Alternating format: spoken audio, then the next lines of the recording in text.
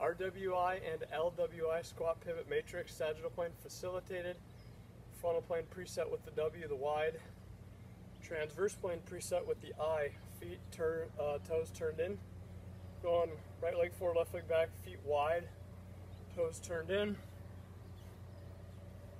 Right leg is our pivoting lower extremity with our sagittal plane, presses, frontal,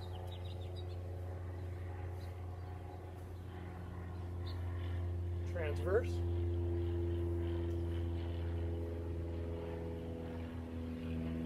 And LWI. Sagittal plane press. Frontal.